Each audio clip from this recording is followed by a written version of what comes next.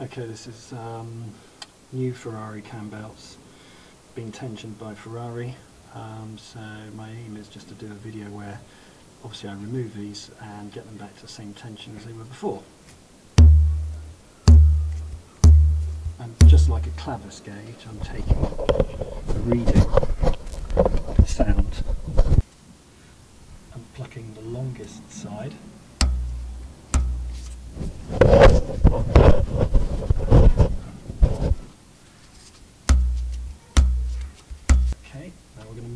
Rotate the engine a little bit.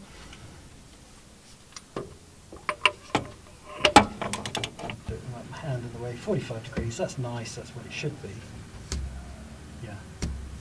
I know there's different tests for doing it, but this is the most accurate, which is why a lot of people have gone over to Clavis gauges. There are these gauges that they pinch the belt and they measure the deflection that way. I've seen them sold in the US and they look pretty good actually. They seem very accurate.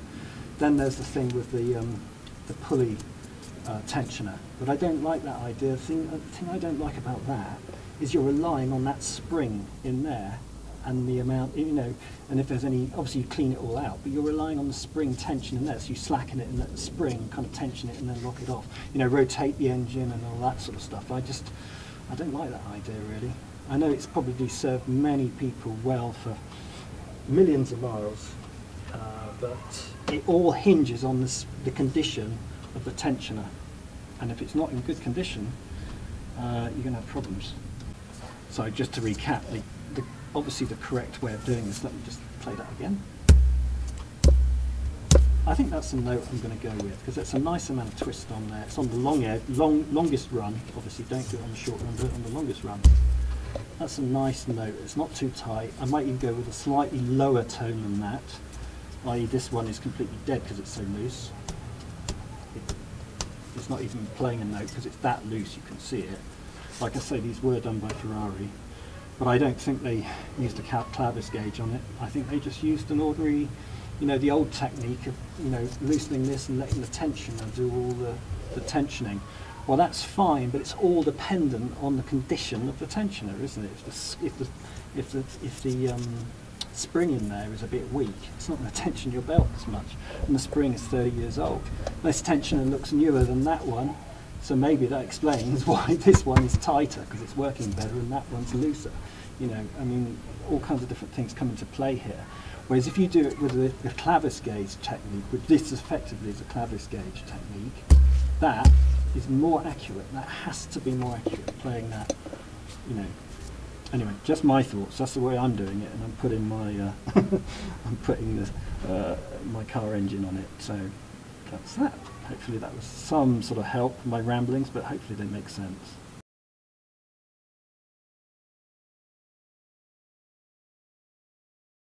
Now, obviously, to rotate the engine, uh, you use a, a, a ratchet, um, and just remember go clockwise because if you go anti-clockwise, it won't damage the engine, but you'll put tension on the wrong side of the belts and get a false reading potentially on the camshafts.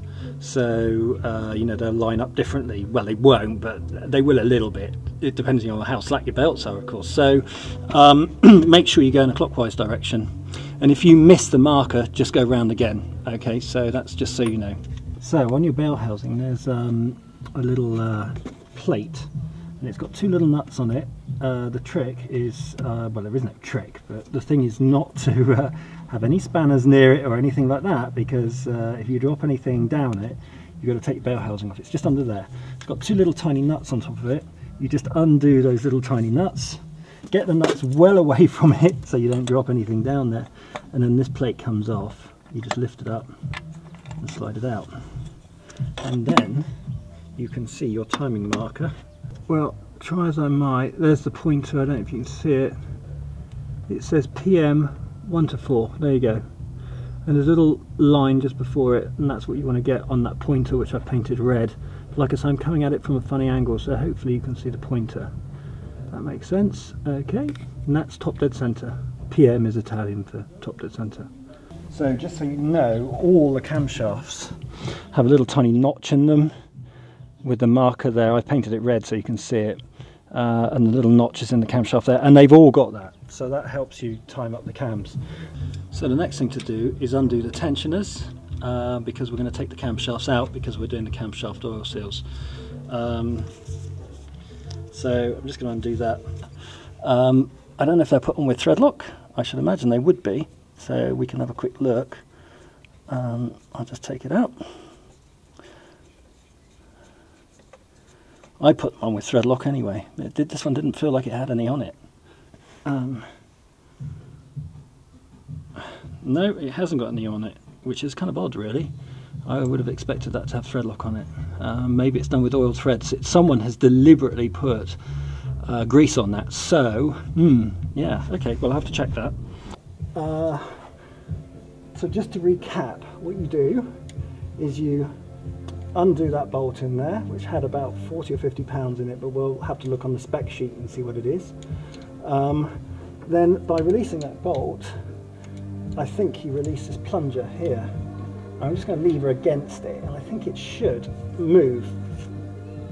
Yeah, it does. There you go. That's it. That's what you do. Okay, so what you do would be, uh, yeah, what's going to be the easiest way of doing this? I was going to say what you could do is release it and then tighten this bolt there, and then that would hold it in the slack position, if you know what I mean. So lever it and then tighten that, and then that would lock it in the slack position. I don't think I'm going to do that. I think I'm going to actually take that off because it's, like I said, it's just had a belt change, and the only reason why I'm doing this is because these seals are leaking, which I knew they were leaking, but I just wanted to bide a bit of time, really. So if I take that off, there you go, that's going to be easier, isn't it? Okay, so I'll do that. Now, the other thing is I don't want it to fall out, okay, which obviously, you know. So we're released on the, now by setting everything to TDC, I haven't, I don't need to use clamps, clamps on the cams or anything like that, I'm not worried about that, because I've got a starting point. I know people like not to find TDC and not to find where the camshafts start from and do it like that. I never understood that because you are, you know, you need a starting point really. If you've got a starting point, you know where you are. I know in theory it makes no difference where what where the engine is positioned, but it's so much better if you do have a start point. So there we go. Let me just put that back in there. Put everything back where it came from. We're, we're all cool. Ah, there we go. The other thing I do is I'm going to mark which side that is. Oh, it doesn't matter. It's different. looks. it's different on the back to the front. Okay. So that's the front. That's the back. Like I say, it's a long time since I did one of these, so I'm really doing it all again for the first time. Okay, the other thing I saw, someone wrote up about removing the belt.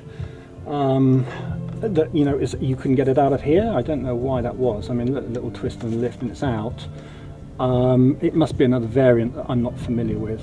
Um, so uh, yeah, like I say, these belts should be fine because they've not really done anything. They've only, they haven't even done sort of 500 miles. Uh, well, no, they've probably done a thousand, and, they, and they're only a few weeks old. But I have been cleaning up the engine. I have spilt a little bit of stuff on them, which I doubt would help hurt them. And oil, you know, they have got a bit of oil on them and stuff. So, you know, they're so cheap. Superformance, get a couple of new ones, even though these are you know, weeks or months old, a couple of months old, or whatever, and they're not very old at all. You get the gist, don't you? Me wittering on. Anyway, uh, I'm going to do the other side. Here's another little anecdotal thing. Why am I doing this with a torque wrench? It's just a habit. So when I undo stuff, if I'm not sure what the torque reading is, um, you know, obviously I know what this is because I can look it up. I don't know it off by hand, but um, my habit has been uh, I had a Lamborghini, uh, uh, an old Lamborghini Miura, and I didn't have um, the, the, the, the, manual was all in Italian. So it was my habit um, to, when I took things off, what I do is mark the position, i.e. that flat at the top there, I didn't see, but at the very top, that top flat, I put a red dot on the top, 12 o'clock position.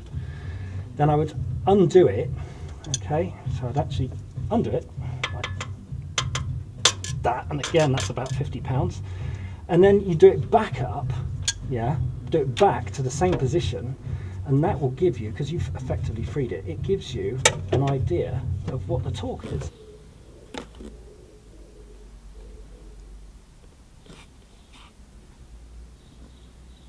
If you're, if you don't know what torque readings are on stuff because you haven't got the manual or something like that, you could do it this way. You know, it might get you out of a bit of trouble. I mean, imagine me not knowing the the um, torque readings on a lot of the stuff. Yes, they do itemize head bolts and key things like that, but certain other things they don't. So you can be sort of caught out um, of not knowing stuff. The funny thing was, back in the time, it was before internet, and uh, I actually got a local Italian waiter to chat for it from Italian restaurant to uh, translate all, everything from Italian into um, into English for me. Um, and he charged me the princely sum of 120 quid, I seem to remember in those days. So yeah, all good fun. There you go, both belts are off. I've also taken off the little tensioner, uh, which is going to be filled with grease. I'll take this one off as well eventually, but I, am going to service those both. Uh, so um, uh, I'll just show you how to do that as well. Right, so the next thing is uh, remove the camshafts, uh, because as you know I'm doing oil seals on the camshafts, hence I'm going to all this trouble. Um, rather than, you know, doing the valve clearances with my tool, but I will do a thing to show you how to use that tool.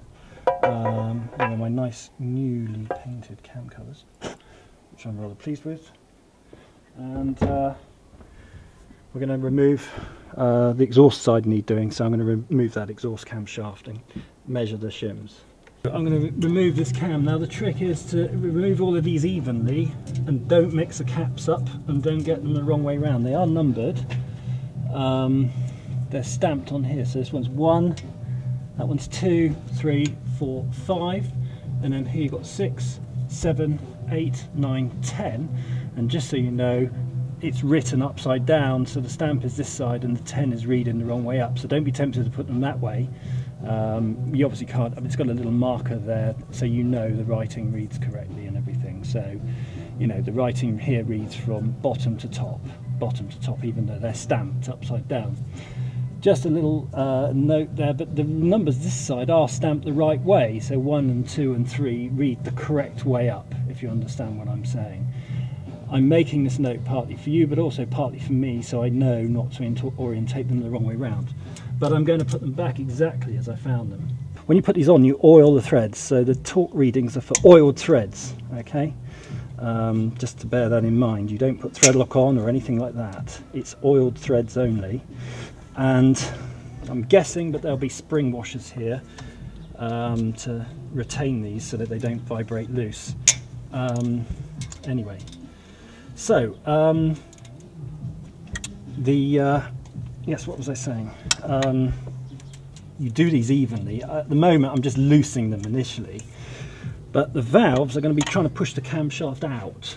So I would say like this one is going to push from here because these valves are pressed in so it's going to try and push from here so that's where most of the load is. Now the trick what you've got to do is just loosen this evenly all the way across the board and just get ready because it's going to pop uh, here in the middle it's going to you know push the camshaft out. Uh, the other thing to bear in mind these are very brittle these camshafts so you don't want to drop them either. Um, uh, yeah, I mean that's pretty common sense really. But uh, okay, so I've kind of loosened them across the board. Now I'm just going to twiddle as evenly as I can and the cam will just ease itself out. So I'm just getting a few turns on all of these. Obviously, predictably, the ones that are going to be tight are these four here because this is where it's pulling the camshaft out. Um, None of this is that critical. I'm only telling you this because it will help you understand, you know, how this thing comes apart. Because if you just blindly sort of um, loosen it all, it will, you know, I mean, someone told me, I don't know if it's true, but I heard, a, you know, the old boy that sort of taught me, he said, you know, people have broken camshafts in the past because they haven't undone them evenly. And whether that's true or not, I don't know. again, you might wonder, you know, how are these cams lubricated? Of course, how does the oil get up here? Well, it goes through. It's it, there will be an oil journal hole in the in the in the case, and the oil will be pumped up from the bottom of the case into the camshaft, which will be hollow, and then there's a journal here. You can see where there'll be a hole in this bearing. This is how these are lubricated. There'll be holes in there, and the oil splurges out of those journals and then lubricates the valve gear, and then it will run through a drain, little tiny drains, back down into the sump again. Um, so Lotus do it, they put holes in the actual reverse side of the lobes and that sprays oil around. And Lamborghini I think do the same. Aston does the same but Ferrari do it slightly differently. So that's how the oil kind of gets up in here. It comes up through the center of the crank uh, camshaft and then it's in it and it lubricates all these bearings and then it releases. It escapes through here and then in turn lubricates the tappets or the buckets or whatever you want to call them. The other thing and this is something that people don't always do, is remember which side the nuts are. By that I mean do not turn the nut 180 degrees. So it came off that way. Don't turn it round and put it back on the other way. It's not good practice. Because what it actually does is it stresses the thread in one direction. And then when you turn it around it stresses it in the other direction. So you should always put the nuts the same way they came off. Um, if you can. Okay, so with all the caps off and neatly laid out, um, you can actually see the oil things I was talking about. Um, a little tiny, let me just zoom in on one. There you go, so you can see the oil feed, and that goes into the one of the journals. And um, you can see it feeds into one of the caps. And then basically, uh, it escapes through there and gets into then to lubricate the valve gear and that's how it works. So now I'll just lift the camshaft out. Hopefully it's not going to be in the way with the fuel injection. I mean it just comes straight out in theory. Uh, yeah. So I'm going to have to kind of jiggle it at an angle I think and find a way to get it out. You bugger. And there it is out. Bit of a strange way to do it, but never mind. So I've removed the engine cover, it makes life a bit easier. Uh, the camshaft, I dropped out through that way. I found that by wrestling these pipes up a bit, I could get it out through there. So actually, next time I'll put the cam in, uh, camshaft in through here and just wrestle the pipes out the way a bit. Um, the other thing was, uh, obviously I've done the back camshaft, so obviously taking the engine cover off allows you much easier access. It's, to be honest, a real doddle. Getting to the back, it's not a problem, it's nice and easy. There's no problem at all. With that engine cover off, which takes five minutes, it really is an absolute cinch. It's a dream, to be honest. This is a lovely car to work on. I mean, I don't want to say that too soon, but it really is. It really is a lovely car to work on this. They really, really thought it out. You know, Ferrari were very clever in their day, I think, the way they came up with this design. It's compact, you know, it's accessible, um, and ultimately, well, you know, touch wood, pretty damn reliable, I think. You know, I mean, they are strong, strong little engines. So, yeah, really, really nice. Guys, so the next thing is micrometer to measure these. Uh, you have to spring these little things out. Uh, they can be quite, uh, you know, surface tension sticks them, so you need to get something in there, just a, like a little screwdriver or something with a sharp edge, just to pop them. You can't use a magnet because the mag. Whoop, there you go, got it. You can't use a magnet because um, the magnet will just stick the shim to the thing. But there you go, there it is. But surface tension really holds them in tight, so just to just to bear that in mind, okay. Uh, right, we'll get measuring. Guys, this first one is reading, I don't know if you can see it, it's reading 3.85 millimeters, okay? So I have to subtract uh, 0.2 uh, uh, off of that for my correct clearance from memory.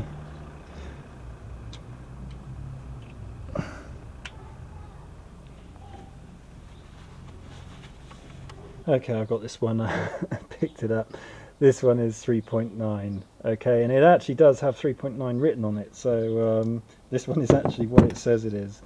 Uh, there you go. You can see it. Hopefully, I'll, put my hands there and it will focus. So yeah, it has 3.9 on it. so you get the gist anyway of what I'm doing here.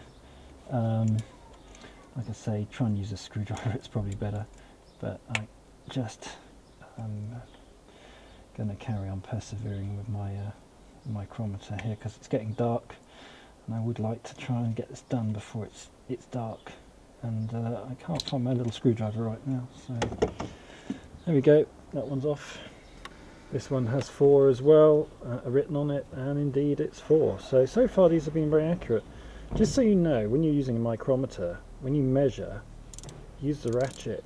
Well this one's got four written on it um, on the back there it does have four written on it and it is indeed a four. So um, yeah it's reading four. Lovely. Okay guys um, obviously camshafts out. Um, first thing I'm going to do is check I've checked them for uh, damage or wear. Um, and uh, all seems to be okay except for one which is uh, this one here, which is the exhaust cam on the, the rearward bank. And if you look carefully, you can see there's a little mark here. Sorry, there. There's two marks right on where the oil seal goes. When I feel it with my finger, there is actually a, a little bit of a, a ridge there. Um, when I dig my nail in, you know, I can feel there's a ridge there.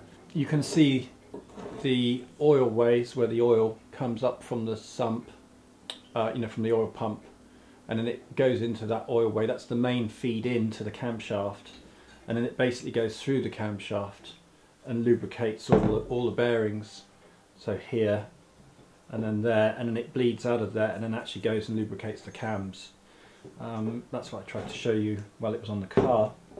Uh, so anyway, I've marked them all just to be really easy. So that's exhaust, rearward most cam, and then I've got um, this is inlet rearward most bank. Sorry. Then this is inlet on the. This one's inlet on the uh, uh, the one up against the firewall, forward most bank, and then that's exhaust. Um, obvious differences, as you can see, there's a boss on here that's because these are set back uh, set out more than these obviously because of the way the cylinders are staggered. Um, okay so all the seals I've cleaned these up. All the seals were uh, worn and quite they're not hard but they are worn.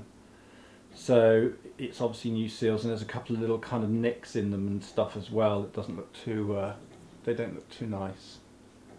So uh, obviously change those and then obviously change these rings as well. Um, so I'll show you how to do that. You've seen me doing oil seal before, but I'll show you how to do it. Okay folks, what I've decided to do is um, emery cloth this because I've looked, emery cloth this, sorry. It's 1200 uh, grade, so it's very, very fine. And um, it's the kind of one that you use for paint finishes. You know, you rub it down and then you polish the paint. So it's very, very fine indeed. Uh, I've looked at it under a glass, and um, you know, you're not going to by rubbing this, you're not going to oval this at all or anything like that because it's so fine.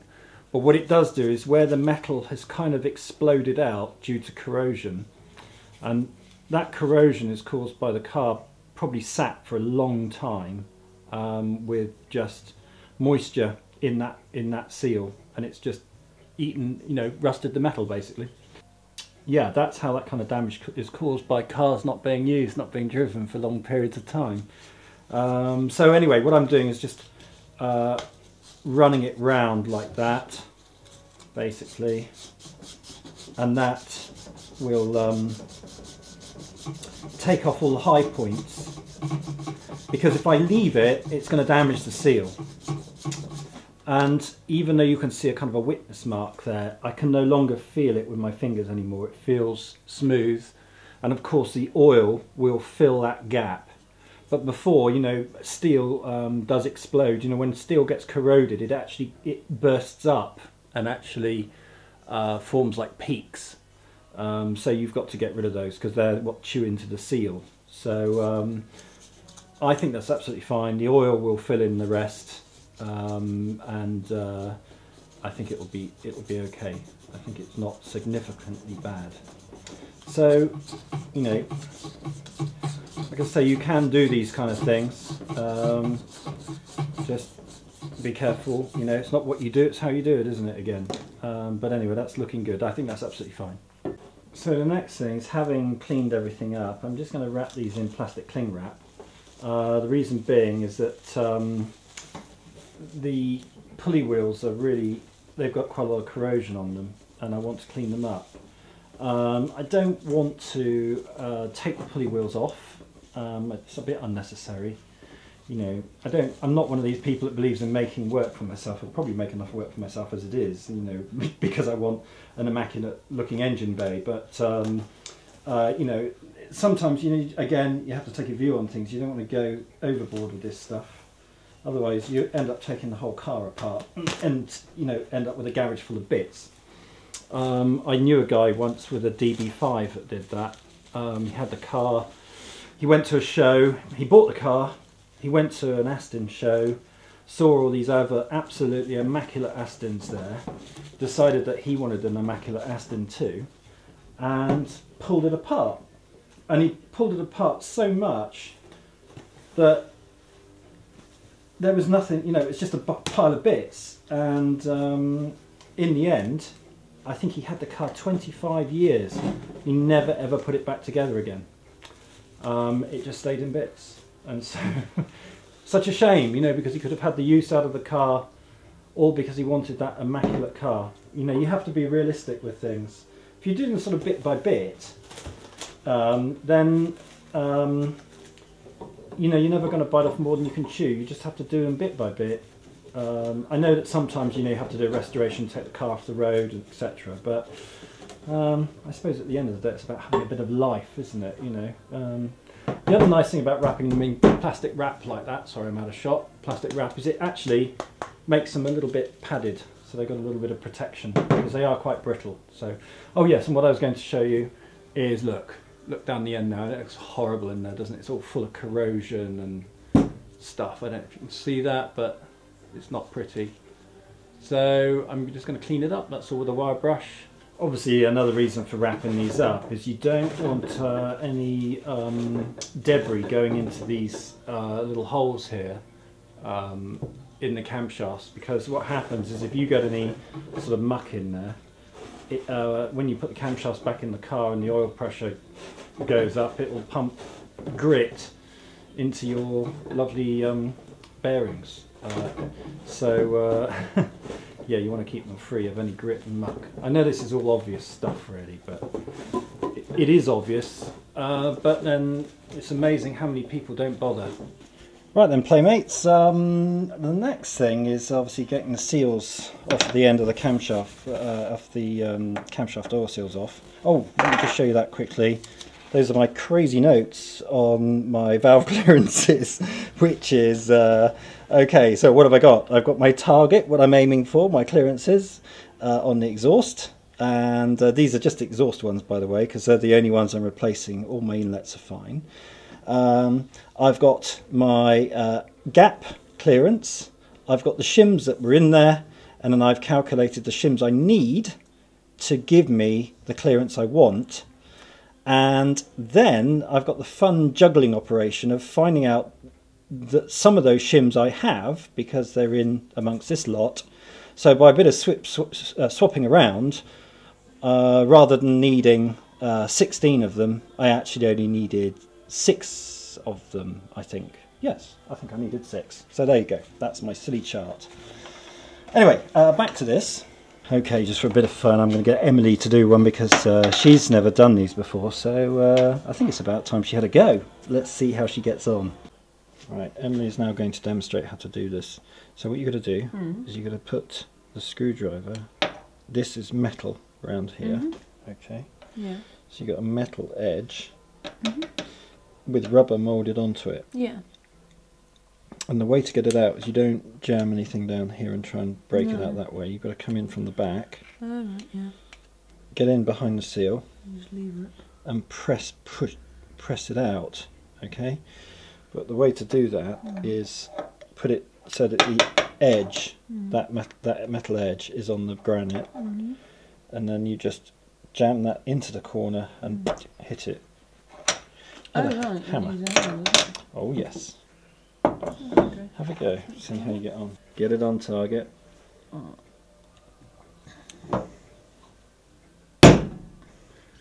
Perhaps if I can hit straight. that's why big hammer's good because when you you know you don't have to flail around with it that was good Wasn't straight. A little bit harder.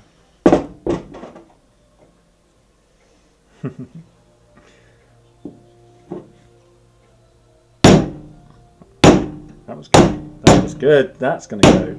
Now come round. There Oh, you go. There we go. Finally got the little bastard. Okay, be patient. Go again.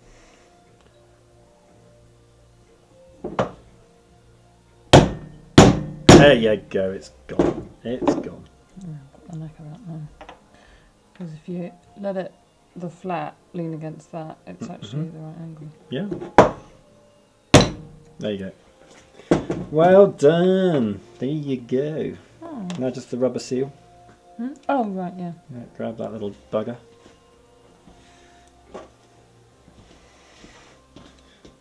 Dong. And that one. Oh, right, heck, I'm doing both, am I?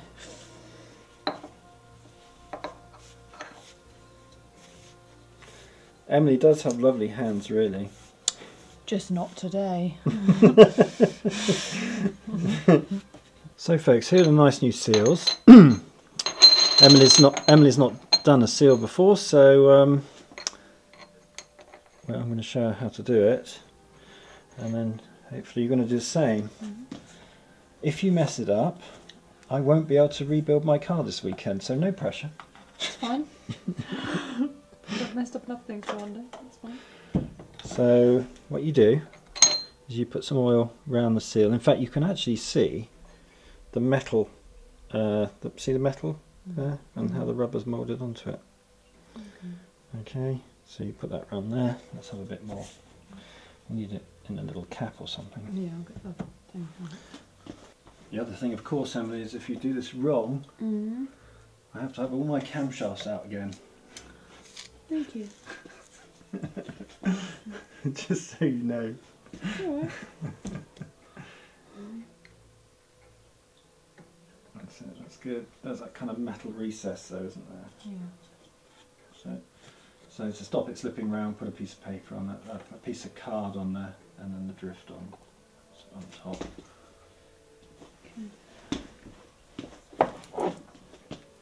And just that's it.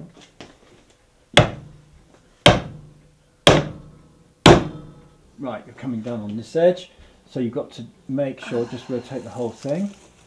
Okay, mm. and make sure you come across with it, come across with the whole thing to mm. about there. Get the centre line through there, yeah? Go. That's it. That's what I'm doing. Just keep Yeah. going at an angle when I do it. Okay. There's a little bit of a. Oh yeah, you're going oh, like Yeah, that. massively. Yeah. Okay. So you don't want Don't This- want that. I know. you don't want that to happen. Okay, guys. If that happens, you've got to stop. Put it out. Yay, yay, yay, yay, yay. Yeah, I'm going to have Yeah. to do this. I know. It's alright. Trouble is, if you try and pull it out, it you can the- damage it. Yeah. Yeah.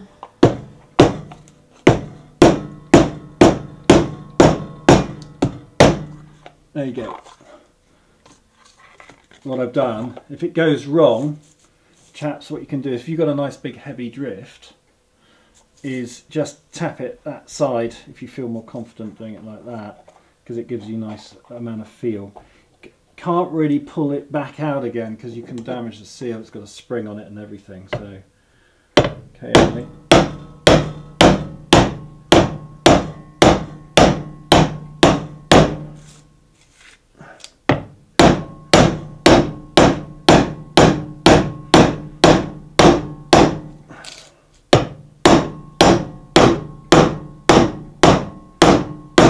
Okay, go for another one.